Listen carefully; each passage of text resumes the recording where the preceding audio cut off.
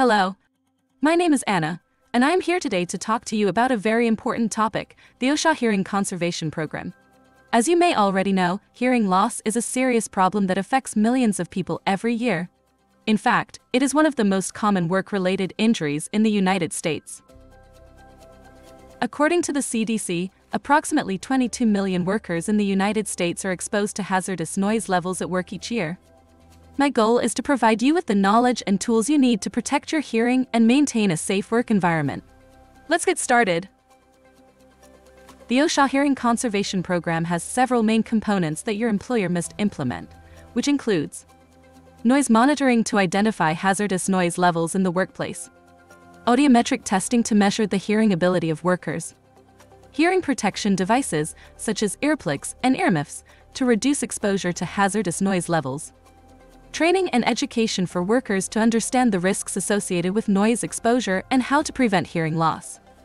Lastly, records must be maintained by the company and for your review at any time. By following these guidelines, your employer can help ensure you the worker are protected from the harmful effects of noise exposure and maintain a safe and healthy workplace.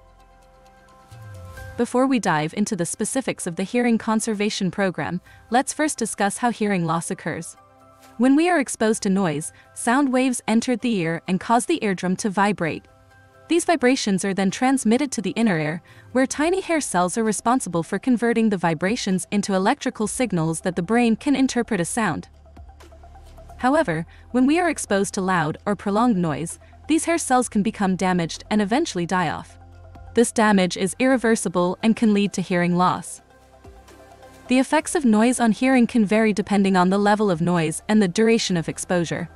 Some of the most common effects include temporary hearing loss or tinnitus, which is a ringing or buzzing sound in the ears that can be very distracting and disruptive.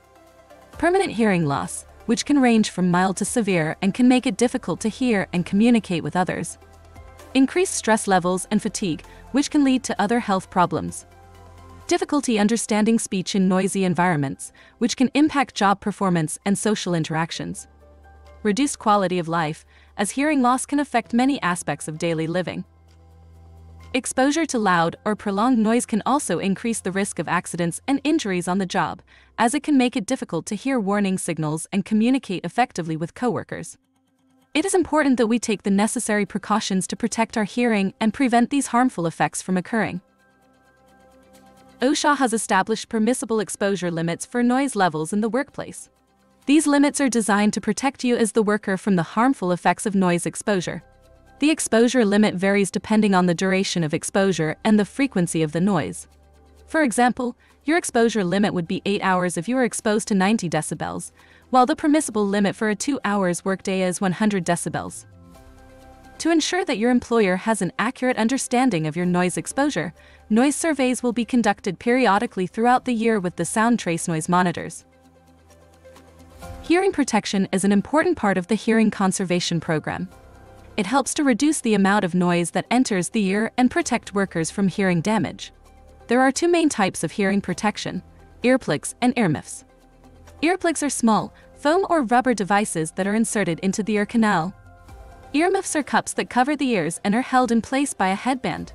Both types of hearing protection can be effective at reducing noise levels, but the choice of which to use depends on the individual worker and the work environment. Your employer will help you determine when and where you must wear hearing protection devices. Audiometric testing is an important component of the hearing conservation program. It involves measuring a worker's hearing ability using an audiometer, a device that produces sounds at different frequencies and volumes audiometric testing is important for several reasons. It provides a baseline for a worker's hearing ability when they begin working in a noisy environment.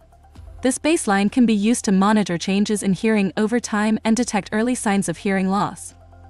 It can identify workers who may be at greater risk of hearing loss due to noise exposure. It helps to ensure that hearing protection is effective, by testing a worker's hearing before and after they begin using hearing protection, we can ensure that the protection is adequate and that it is being used properly. By conducting regular audiometric testing and taking appropriate action based on the results, we can help to prevent hearing loss and ensure the long-term hearing health of our employees.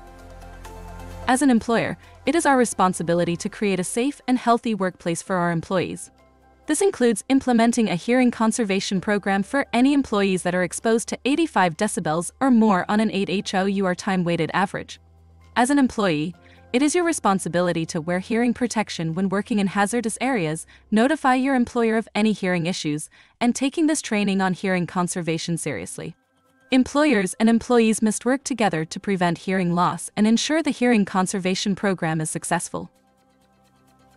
As we have learned today, exposure to high levels of noise can cause permanent damage to our hearing. Hearing loss is 100% preventable with proper protection in place. Thank you for taking the time to learn about hearing conservation today. Let's get out there and work together to create a safer and healthier workplace for all.